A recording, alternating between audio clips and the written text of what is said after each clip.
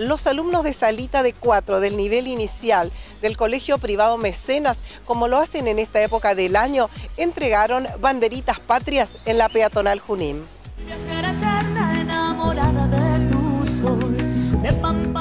Sí, un clásico ya de hace varios años, el salir en vísperas al Día de la Bandera, salir a embanderar y a pintar de celeste y blanco nuestra ciudad.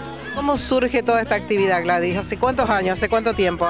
Y hace aproximadamente 5 o 6 años que lo venimos haciendo a partir de los proyectos y lo que trabajan en la sala, conociendo la historia de Belgrano, nuestra historia nacional y aprendiendo a querer y a valorar nuestros símbolos patrios. ¿Cómo trabajaron en clase?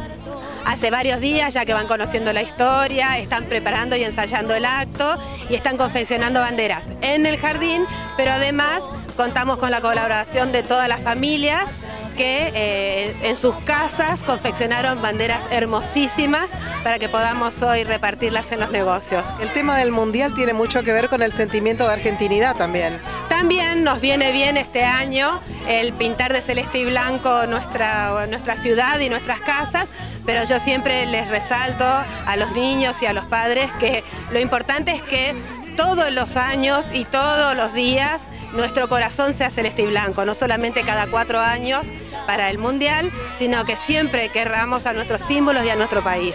A poco ya de las vacaciones de invierno, tiempo de merecido descanso. Sí, todavía nos falta un tramito, eh, preparar unos cuantos contenidos más, otro acto por delante, pero sí ya con vistas a renovar las energías.